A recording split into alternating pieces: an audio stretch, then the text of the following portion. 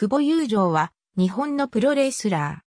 ー。2005年10月22日、スーパークルー新木場ファーストリング大会における対中里哲也戦にて、本名の久保友情でデビュー。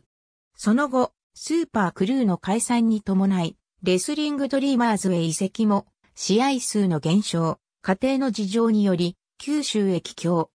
2008年4月20日に行われた九州プロレスの公開オーディションでは、プロレスにかける思いを式に例え、審査員や多くの観客の胸を打った。2008年7月6日に行われた九州プロレス旗揚げ戦で、筑前両太氏を相手に白波遊女の名前で再デビューを果たし、2008年12月に行われた1データッグトーナメントでは、師匠の筑前両太氏とタッグを組み優勝を果たした。2009年5月、海援隊土壌で行われた系メタルリーグ0級に参戦。2009年12月に行われた1データッグトーナメントで明太キットとタッグを組み昨年に続いての優勝を果たした。2011年1月に武者修行のため単身メキシコへ渡り、現地インディーマットを転戦し、2012年3月に帰国。2012年3月28日をもって九州プロレスを退団してフリーとなる。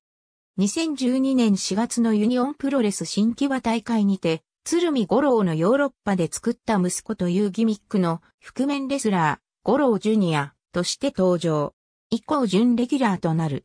2012年9月、アジアンプロレス、宮崎大会で以前から痛めていた右膝の側副靭帯を断裂。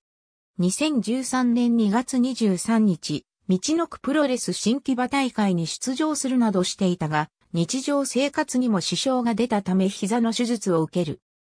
福岡にいた頃、プロレスだけでは食べていけないことから制作会社で映像の仕事を1年していたこともあり、2012年8月18日の日本武道館大会から DDT プロレスリングの後楽園、ホール大会などを手伝ってきていたが、2014年6月下旬から DDT のプロレス映像班として正式に働くこととなった。怪我から復帰後も五郎ジュニアとしてユニオンのレギュラー参戦。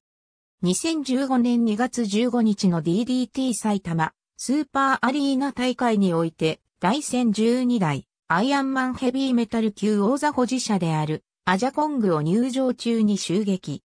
DDT 映像班、久保佑允として第1013代王者となり、アジャコングの入場曲がそのまま流れる中カメラ片手に登場した。勝又窓カバに丸め込まれ王座陥落したが、安浦のコルバタやアストロシザースで投げるなど、久々にリング上での姿を見せた。2月22日、ユニオンプロレス王子大会にて、トーナメントで2回戦で敗れた五郎ジュニアが覆面を脱ぎ久保佑允であることを明かすとともに、ユニオン入団が決まった。また、ユニオン入団後も DDT の映像班としても働く。3月1日、ユニオン大阪大会にて中津良太を相手にユニオン正式入団後初の試合。差で見せた派手な技は使わずにスカシやグラウンドテクニックで場を支配して最後はメキシカンロールでフォール勝ち。10月のユニオン解散後は DDT 映像班としての仕事を優先するため、テック所属として活動。11月18日に開催された佐々木大輔佐藤祐樹との合同によるデビュー10周年記念大会でのセミファイナル終了後、木高、勇の誘いにより、プロレスリングバサラ入団が決定。11月末をもって DDT 映像班を離れレスラー活動に専念。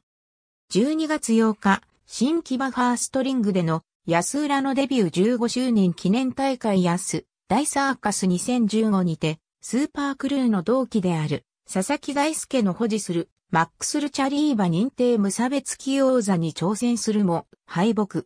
ありがとうございます。